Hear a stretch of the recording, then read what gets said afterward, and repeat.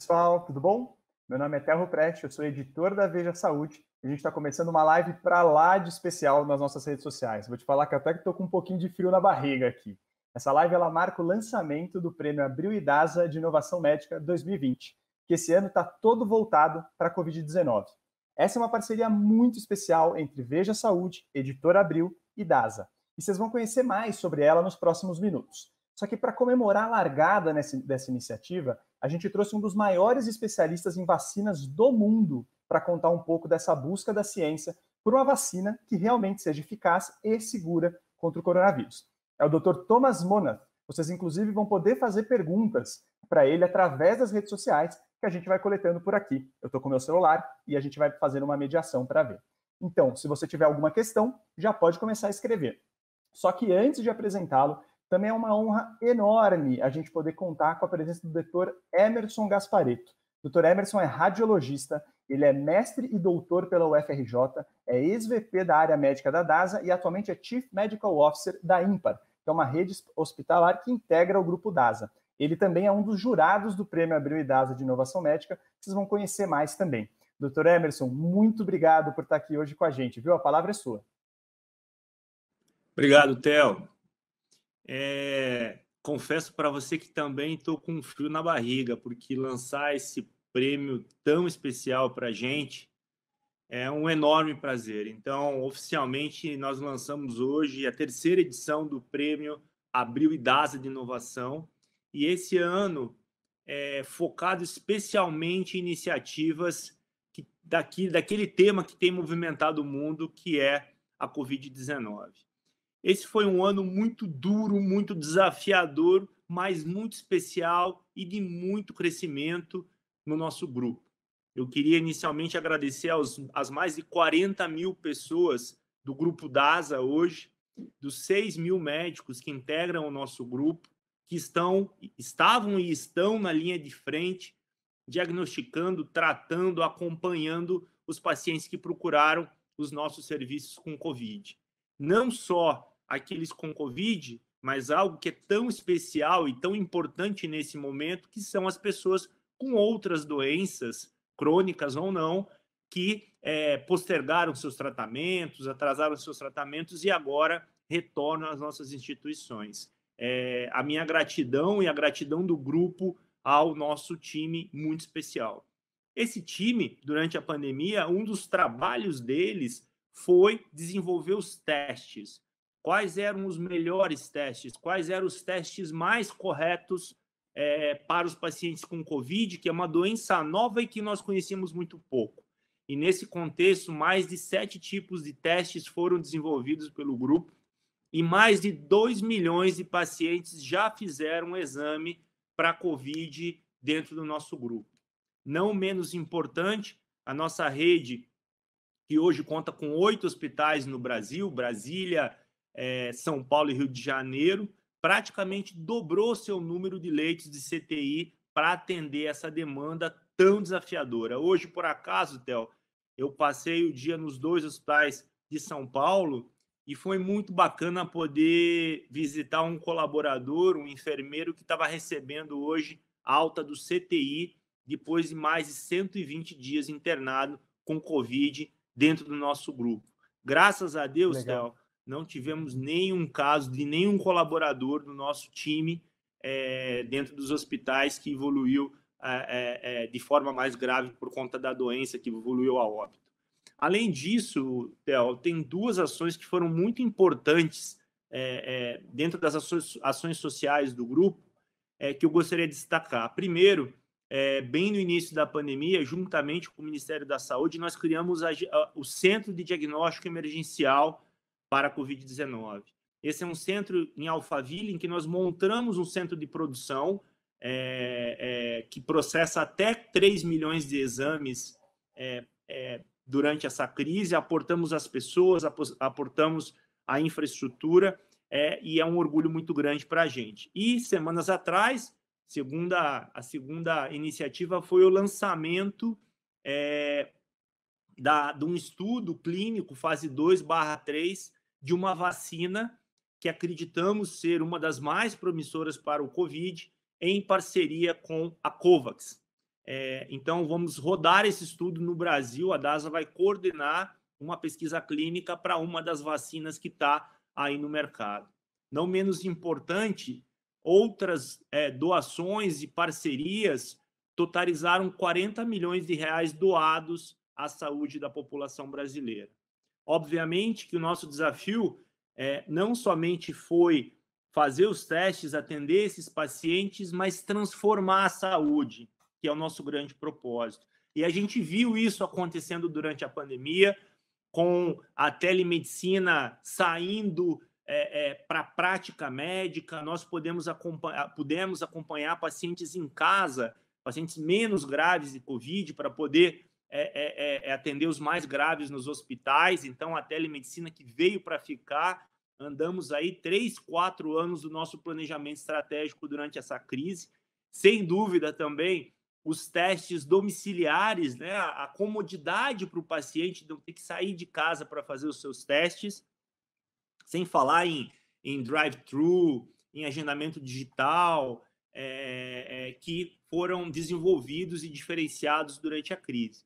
E algo muito importante também, Theo, que, que foi um trabalho muito relevante do grupo, tanto dentro de casa para os nossos colaboradores, mas para a população em geral, fizemos questão, questão de combater fake news, tirar as dúvidas, trazer a visibilidade da informação correta para as pessoas.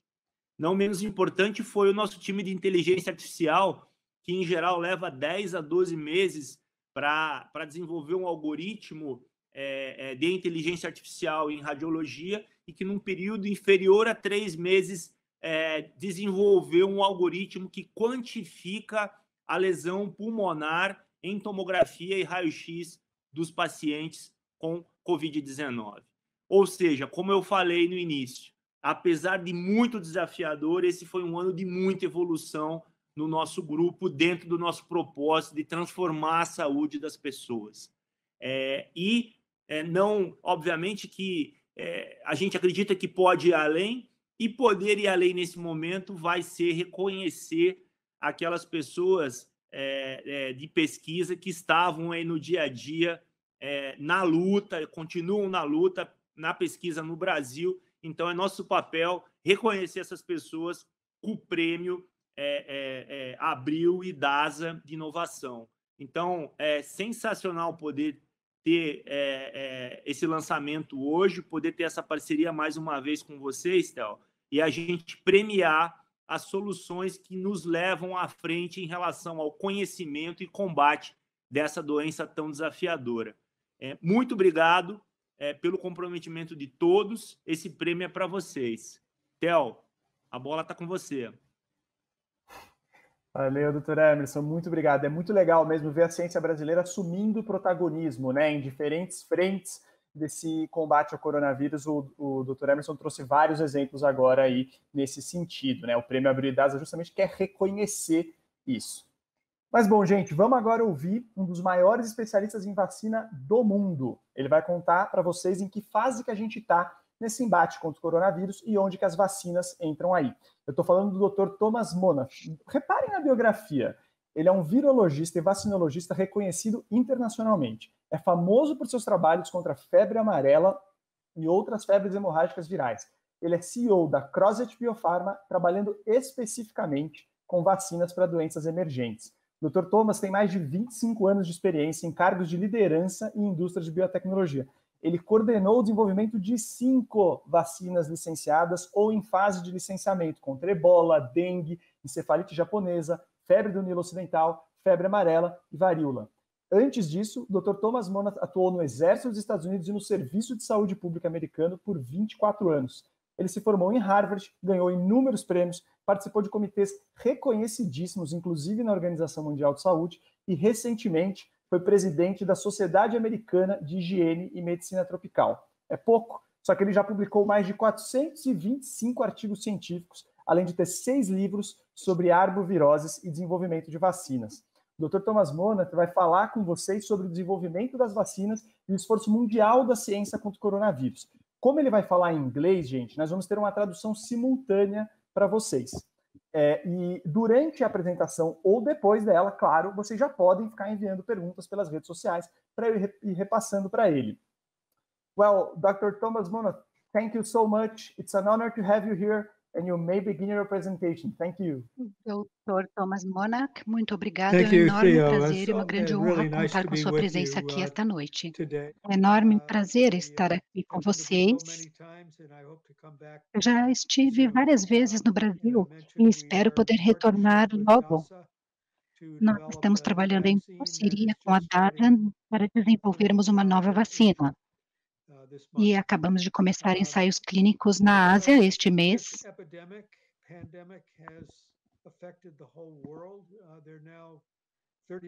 Essa pandemia está afetando todo o mundo. Há 30 milhões de pessoas nesse momento. As infecções de Covid-19 afetaram pessoas no mundo todo, milhões de pessoas que morreram. Na América Latina, infelizmente,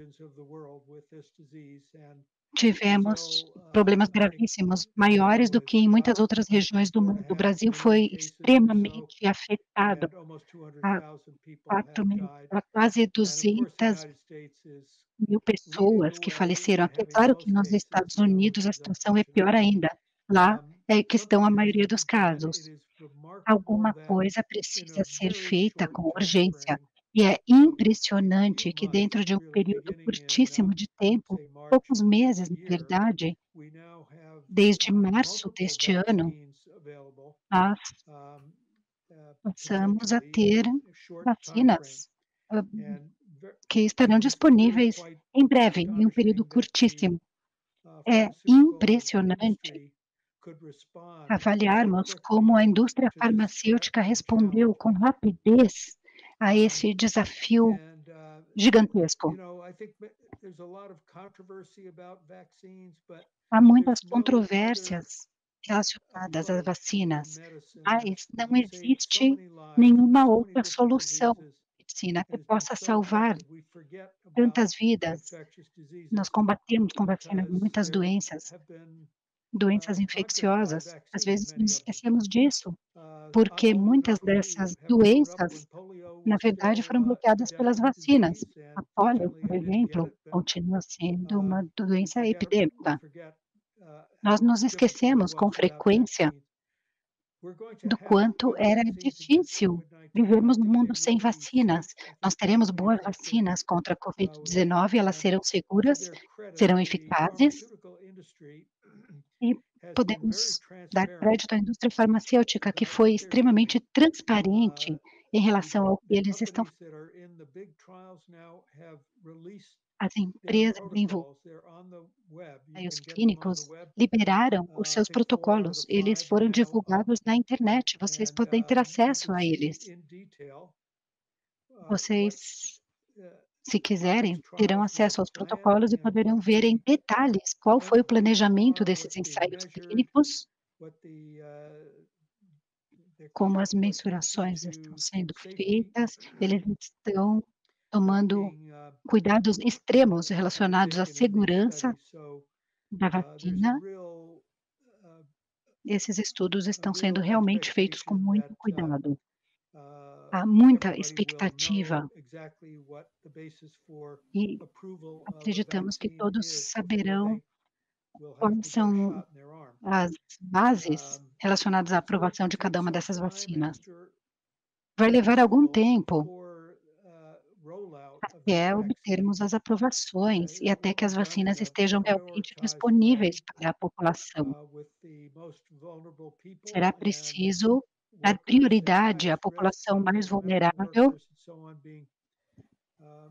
aos profissionais da área de saúde, é claro que eles devem ser priorizados, e também pessoas que têm doenças pré-existentes, pessoas de idade mais avançada ou mais suscetíveis a desenvolver Covid-19 de forma grave. A previsão, então, é que nós teremos uma vacina nos próximos meses. E eu acredito que até o meio do ano que vem, nós já estaremos distribuindo vacinas para as pessoas que precisam mais dessas vacinas. Terão prioridade. A vacina em que nós estamos trabalhando é um pouquinho diferente das outras. Ela está sendo produzida em grande escala. E, portanto, isso não é um problema. Ela tem alguns componentes que não estão presentes em nenhuma das outras vacinas. Na verdade, isso deve incluir uma atividade protetora da vacina e gerará anticorpos neutralizantes que deverão persistir por um longo tempo no organismo. A Covid-19 provavelmente estará presente na nossa vida por muito tempo. A pandemia será reduzida, mas ela permanecerá como uma doença endêmica, assim como outras gripes, outras doenças que reaparecem todos os anos. Isso vai acontecer com a Covid-19. Portanto, a vacina é realmente a solução. Nós estamos trabalhando também em tratamentos, vocês devem conhecer vários medicamentos antivirais, por exemplo, plasma, que está sendo utilizado de pacientes que já se recuperaram, anticorpos monoclonais, podem ser usados para o tratamento e até na prevenção por curto período de tempo.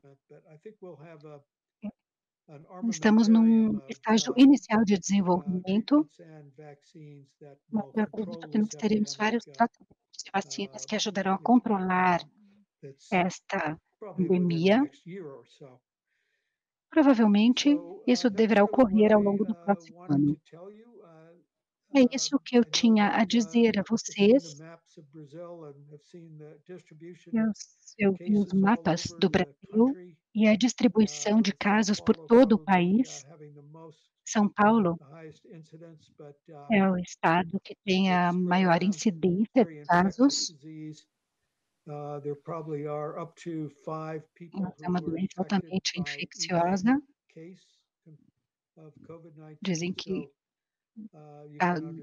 de cada cinco pessoas, duas podem já ter sido afetadas pela Covid-19. Isso é para vocês entenderem com que rapidez essa doença pode se espalhar. Isso é basicamente o que eu tenho para dizer a vocês e agora estou disponível para responder qualquer pergunta que vocês possam ter. Dr. Thomas, if you can uh, just wait some a minute or two, uh, I'll, I'll basically present the some things of the DASA Award first, the Abril and DASA Award. Gente, então eu estou falando aqui com o Dr. Thomas para a gente apresentar só rapidamente uns pontos do Prêmio Abril e DASA, né, que é um pouco da dinâmica dele, né?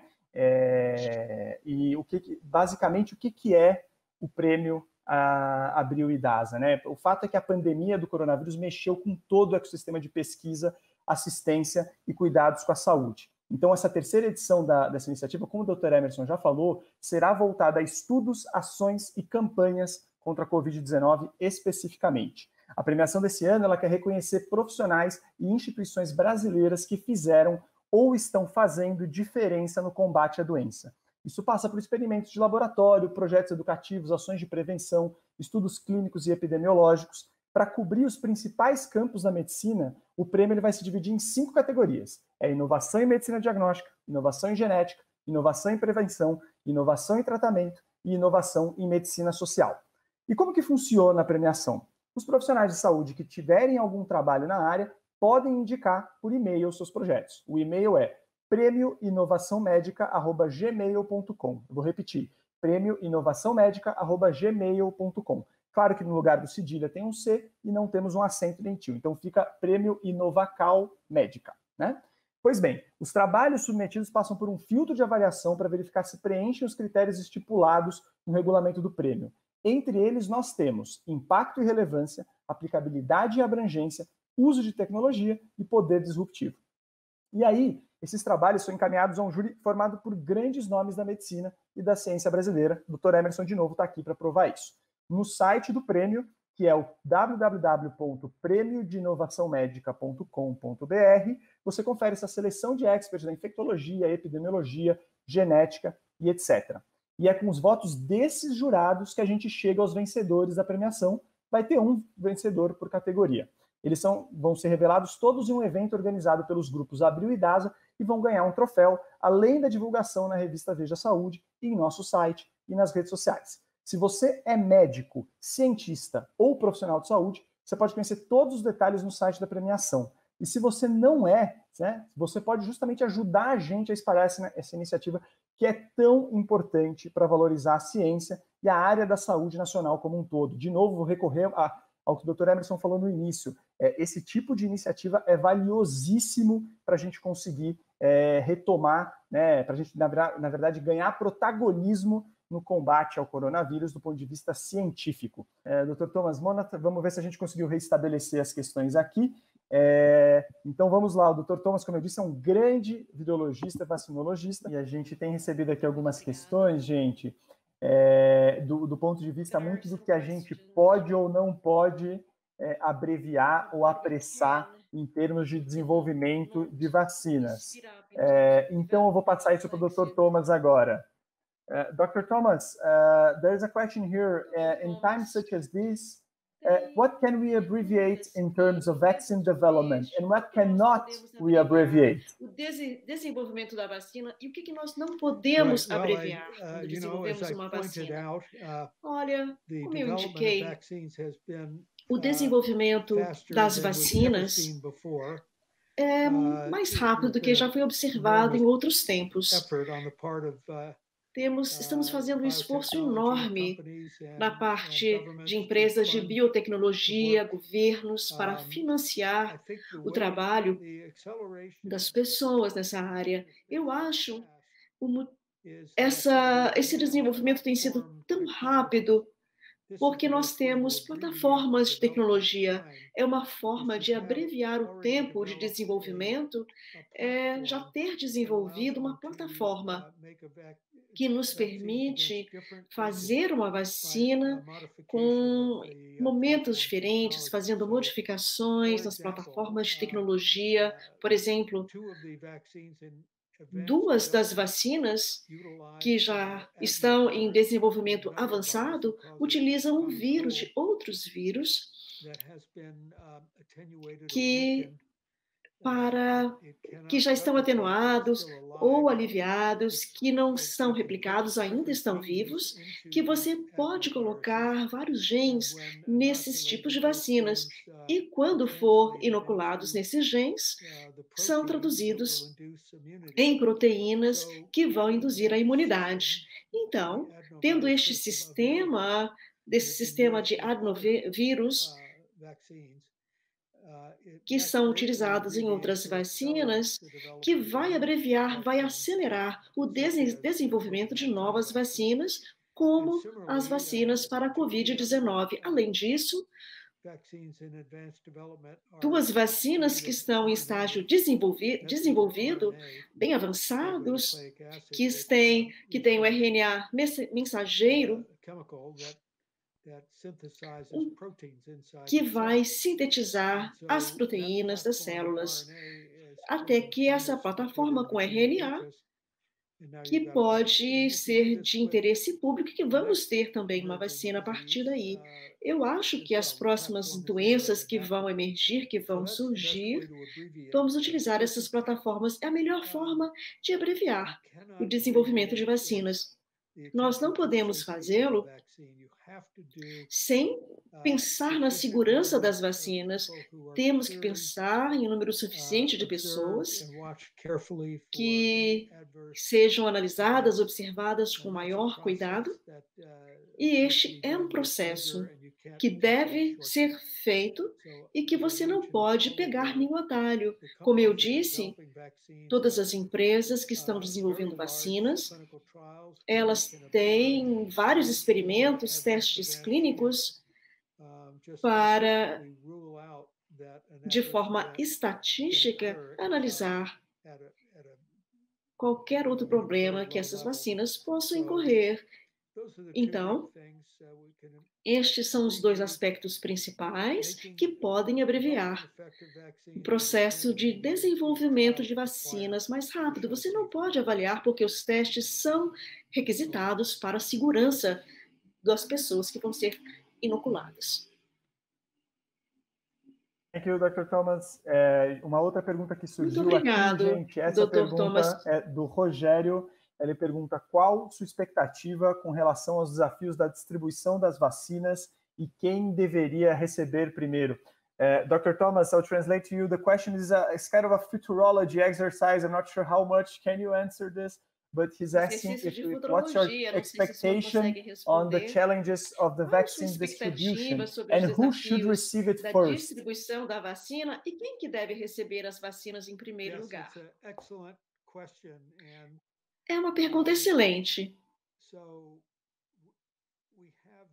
not had much experience nós não temos uma experiência muito grande. Estamos para entregar tantas doses de vacina em tantas partes do mundo. As pessoas morrem diariamente, não é?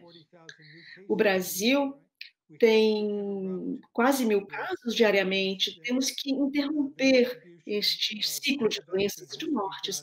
Então, a distribuição das vacinas deve ser feita de forma rápida. Tem o desafio, em primeiro lugar, é quem que deveria receber as vacinas. Eu acho que as pessoas que, em essência, essencialmente, que a forma que a civilização funciona, principalmente os trabalhadores da saúde, com risco altíssimo, e porque eles precisam cuidar dos pacientes. Claro, sabemos que médicos e enfermeiros já faleceram com essa epidemia, eu acho que os trabalhadores da frente, né, de frente dessa, dessa questão da pandemia, devem ser os primeiros, com certeza. É, seria a de maior prioridade vacinar essas pessoas. Quando vemos a epidemiologia,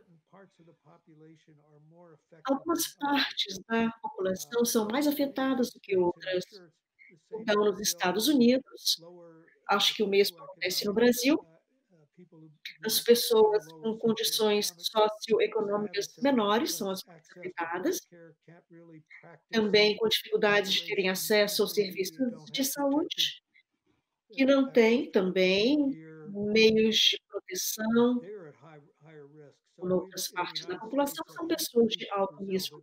Nos Estados Unidos, não sei como é no Brasil exatamente, a população americana, como exemplo, as pessoas que vivem na parte sul dos Estados Unidos também, as taxas de incidência são muito mais altas. Então, este deveria ser o foco que os epidemiologistas deveriam pensar. E as populações com maior incidência de doenças e, por fim, as pessoas que têm condições pré-existentes ou subjacentes ou acima de 65 anos também têm maiores riscos de doenças severas, questão de hospitalização, também as pessoas que deveriam estar na linha de frente para obterem a vacinação em primeiro lugar.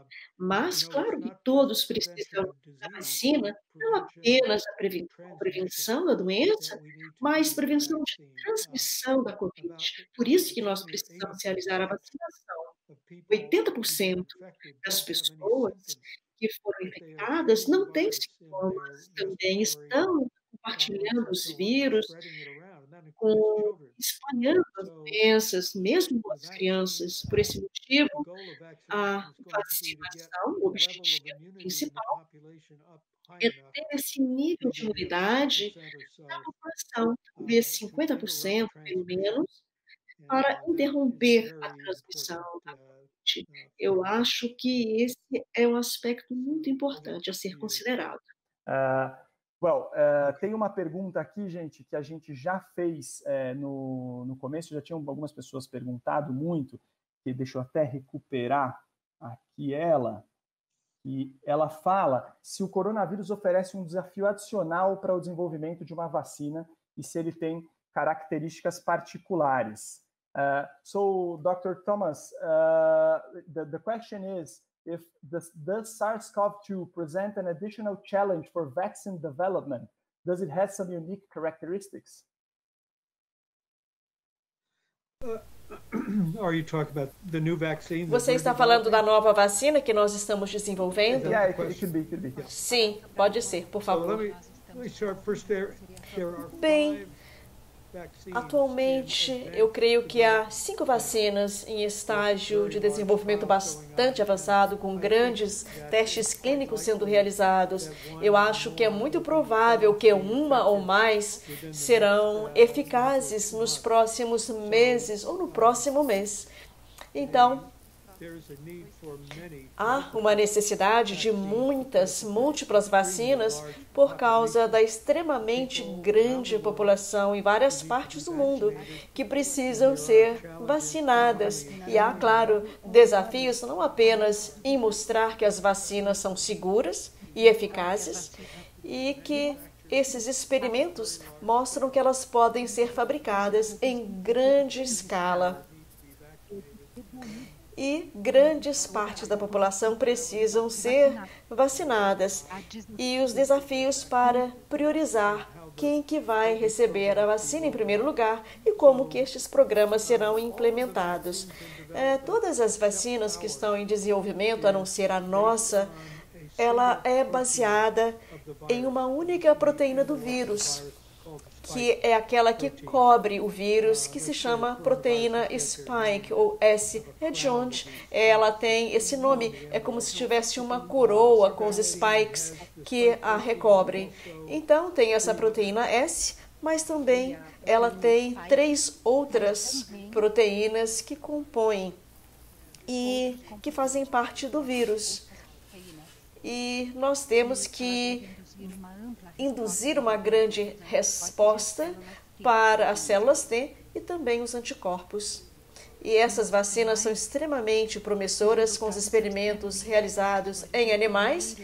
E o primeiro ensaio clínico com seres humanos está acontecendo agora na Ásia, em Taiwan. Assim que nós conseguirmos obter os dados desse ensaio clínico, nós vamos iniciar um estudo muito mais amplo no Brasil. E nós esperamos que aconteça o seguinte: que sejam fabricadas em grande escala, o que é extremamente importante, que está prestes a acontecer. E isso deve acontecer no primeiro trimestre do ano de 2021, com grandes doses que serão produzidas. Eu não sei se você tem mais uma pergunta para mim. Great, professor. Uh, gente, a gente teve tempo para uma, uma, última pergunta aqui, que veio do Instagram, essa da Dart Clea ela perguntou quem já pegou, pega novamente. Dr. Thomas, there's a question here uh, regarding coronavirus reinfection. Uh, first, if how if we know uh, how possible is that, and how common is that? If you're worried about this. It certainly, this is it. Com certeza, essa é uma área de grande interesse. People. A maior parte das pessoas que foram, re, foram infectadas, elas estarão imunes. E talvez não sejam reinfectadas. Todos os dados que nós já obtivemos mostram que há uma janela de imunidade nas pessoas que foram infectadas. Talvez elas fiquem imunizadas por alguns meses. A pessoa fica imunizada. Parece que é possível ser reinfectada, mas caso aconteça, é importante saber o nível de resposta imunológica dessa pessoa ao vírus e isso poderá permitir a reinfecção. Isso não acontece com muita frequência, a reinfecção mas a segunda infecção talvez seja mais, mais leve.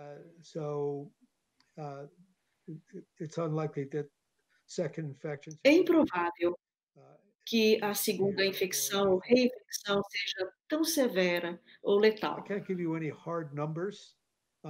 Eu não consigo te dar dados estatísticas sobre as taxas de reinfecção até o momento, mas é algo raro. E se ocorrer, será leve a reinfecção, claro. Para você, Theo. É, bom, gente, então a gente vai ter que fechar essa sessão de pergunta agora e nos despedir do Dr. Thomas. Dr. Thomas, thank you very much for bringing to us all your knowledge. Uh, I, I, hope we, we had more time, but we just don't we don't have it. So thank you so much. Gostaríamos de ter mais tempo, mas não temos. Agradecemos muitíssimo ao Senhor. Foi meu prazer, Theo. Eu espero que nós possamos conversar novamente em outro momento. Boa noite, obrigado. Boa noite, doutor Thomas. Acaba de fazer uma promessa perigosíssima para jornalista, que é falar de falar outra vez com jornalista. O jornalista adora aproveitar esses momentos para conseguir depois marcar futuras entrevistas. Então, fiquei muito feliz agora com essa frase final do doutor Thomas. Bom, é, gente, antes da gente acabar aqui, eu queria chamar mais uma vez o doutor Emerson Gasparito para umas palavras finais né, sobre o prêmio, sobre a live de hoje. Doutor Emerson, muito obrigado por seguir aqui com a gente, viu? Obrigado, Theo. Sensacional, né? Sensacional a experiência do Thomas e tendo ele como um sponsor técnico da vacina da Covax, nos deixou ainda mais é, seguros é, dessa parceria e rodar esse estudo fase 2/3 aqui no Brasil. Você sabe, Thomas, que, é, até, que uma das, das coisas que mais me perguntam é o que, que foi feito durante a crise, né? Como que nós enfrentamos essa, essa batalha? E um, uma das iniciativas que teve um valor muito grande para a gente foi a criação do comitê de crise, ainda lá em fevereiro, bem no início da pandemia. É, e enquanto muita gente é, ficava em casa, como, como era o correto, em isolamento social, o nosso time é, da, do, do comitê de crise do grupo estava todo dia reunido, porque as decisões eram tomadas em tempo real, elas mudavam durante o dia, não tinha sábado, não tinha domingo, não tinha madrugada, não tinha manhã, e a decisão de de buscar EPI fora do Brasil, de buscar reagente fora do Brasil, no Brasil, é, mudar toda a nossa produção que era possível para os exames de Covid, abrindo mão de outros estudos. É, então, enquanto o doutor Thomas falava, eu, eu, eu, me veio essa, esse filme de uma história que foi muito marcante, muito desafiadora, mas sem dúvida nos fez crescer. E se por um lado o nosso time de gestão do comitê de crise estava reunindo, tomando as decisões e, e, e fazendo o possível para oferecer o melhor para a saúde das pessoas naquele momento, nós pedíamos que as pessoas ficassem em casa, é, porque a população em geral precisava desse isolamento, que era a forma mais correta de combatermos as crises, a crise. Mas eu tenho certeza que enquanto é, é, todo mundo ficava em casa, os pesquisadores, pelo DNA que tem, estavam pensando nos seus estudos, nos seus desenhos, rodando aquilo que era possível no modelo de home office, é, e o mundo se voltou para Covid-19. E eu não tenho dúvida que o que a gente aprendeu, o que a gente desenvolveu, hoje, por acaso, é, passei um, um, um, round com o time do, do, da, da, do CTI de um dos nossos hospitais e eles estavam me mostrando os números é, da performance daquele CTI versus outros CTIs Brasil afora. E eles me falando da publicação de por que, que eles tiveram uma performance melhor. Assim como o Carlão falou isso para mim hoje, eu tenho certeza que os nossos pesquisadores Brasil afora estavam aí é, é, colocando todo o seu investimento de tempo é, é, para que a gente aprendesse mais sobre essa doença, aprendesse mais como diagnosticar, como tratar, como combater, como acompanhar. Então, não deixa de ser nada mais do que a nossa obrigação direcionar o Prêmio Abril e DASA de Inovação esse ano para as iniciativas voltadas ao Covid eu tenho certeza absoluta que o nosso time de jurados vai ter um grande desafio, porque teve muita gente muito focada no desenvolvimento de pesquisas relacionadas ao Covid. Novamente, é, não tenho palavras para descrever a felicidade que é para a gente esse prêmio, para reconhecer a comunidade científica brasileira no momento tão desafiador. Eu agradeço muito, muito a todos aqui pela presença e aguardo vocês na entrega do prêmio aos finalistas em dezembro. Theo, está com você. Maravilha. Muito obrigado, doutor Emerson. Você sabe que aqui, enquanto a gente, enquanto você estava falando, a gente tinha tanto pessoas que trabalham na DASA falando orgulho de ser DASA, como gente também que não necessariamente trabalha, mas falando parabéns à DASA pela iniciativa, parabéns, editora Abril, muita gente aqui batendo palminhas aqui, doutor Emerson, então o pessoal realmente muito satisfeito aqui com essa coisa do prêmio, e eu destaco uma coisa que o doutor Emerson falou, gente, que assim, os jurados que estão por trás deste prêmio são é um, é um supra-sumo da ciência nacional, é gente muito capacitada mesmo para atuar é, avaliando esses, essas, essas iniciativas em diferentes categorias. Então é muito legal, até por esse motivo, ter esses trabalhos entrando, porque eles vão ser avaliados por gente de primeiríssima linha, até para ter uma noção, feedback de como tem sido esse trabalho. O Dr. Emerson trouxe de novo aí vários pontos que mostram como a gente está avançando a ciência nacional, até em função da Covid-19, né? Mas, gente, é isso então. Eu quero reforçar para vocês ficarem de olho tanto no site da Veja Saúde como no do Prêmio Abril e Dados de Inovação Médica para acompanhar as novidades sobre essa iniciativa que a gente já mostrou aqui, que é fantástica, né? E queria agradecer, doutor Emerson, pela sua presença aqui, pela, mais uma vez pela presença do doutor Thomas, e queria aproveitar para agradecer toda a equipe que tornou essa live possível. Agradecer ao Ricardo Rangel, Renan Rodrigues, ao Yuri, a Thais Manarini, ao Diogo Sponchiato, as tradutoras Meg e Márcia, a Caroline de Publicidade, ao Xande, enfim, é muita gente aqui para agradecer. Mas a gente fica então por aqui. Convido vocês a ficarem sempre de olho no, na premiação e, claro, no avanço da ciência, das vacinas e de tudo que tem a ver com o coronavírus. Tá bom, gente? Então, um grande abraço para vocês. Até a próxima transmissão ao vivo. Tchau, tchau.